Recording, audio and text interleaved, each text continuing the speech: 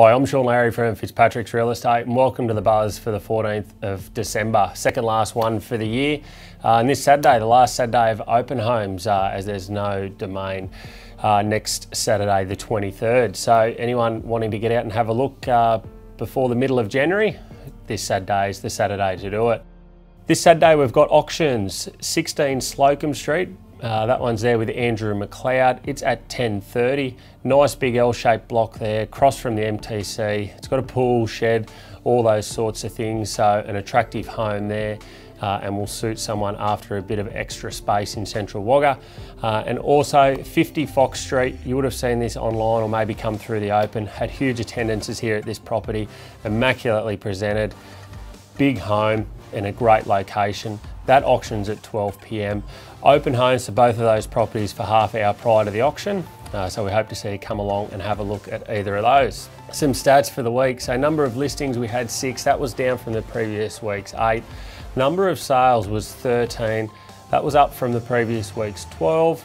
We had 12 market appraisals. That was the same as the previous week.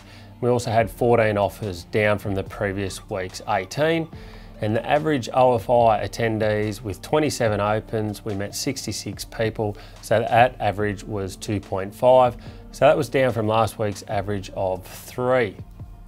Some new listings for the week that'll be open on Saturday that are worthwhile getting out and having a look at. A couple here in Tatton, a popular suburb, 7 Monaro Court, a nice cul-de-sac there, 640,000, four bed, two bathroom with double lock-up garage with Andrew McLeod. Uh, and also 20 Lachlan Place with Matt Newley, 459,000, four bedroom, two bathroom, two car accommodation. Some nice renovations there and a pool as well. One of the lovely original homes there in Tatton. Uh, and something for sort of the investors or first home buyers, 65 Yentu Drive.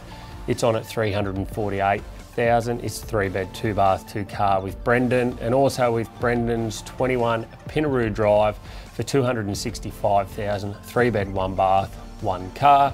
Uh, and first home buyer, entry level property here at 217 Fernleigh Road with Helen Woodhouse. It's on the market at 189,900 um, and definitely some value there and not too far from town either, Fernleigh Road. So worthwhile checking out. Well, I'm Shaun Lowry for The Buzz, second last edition of the year. I uh, hope everyone's having a good run into Christmas. See you out and about on Saturday.